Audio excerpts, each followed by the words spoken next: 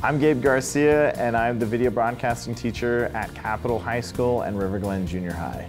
Teaching video broadcasting, it's one of those things where there's so many different elements. We actually record the announcements every single day and to encompass all those elements, we have to do it in a fashion that's organized. My passion from video actually derived from my high school experience. I had the opportunity in coming through the very program that I teach. The teacher that I had was an inspiration to me. My classes have the opportunity in doing live streams, not just for Capital High School, but also for the Boise School District. On average, we're probably close to 18 live streams a month being a digital innovator. I, I, feel like as a teacher it's given me more confidence as well as give my students confidence. I hope that they know how much I care. And I hope they're having a great time in my classes.